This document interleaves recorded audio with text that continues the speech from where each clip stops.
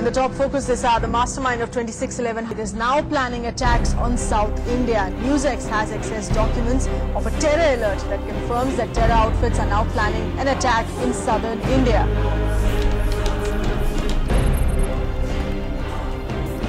Yes, Okay.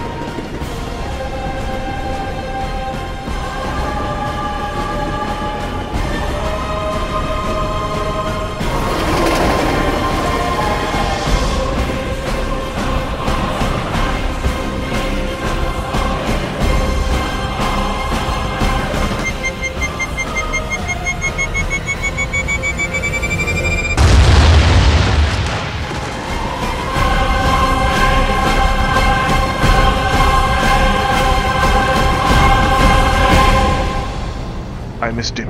He got away. Oh no. Okay, I tried to get some leads. They got away. Already missed on that. What's the background? That is the problem. We don't have enough info about the background.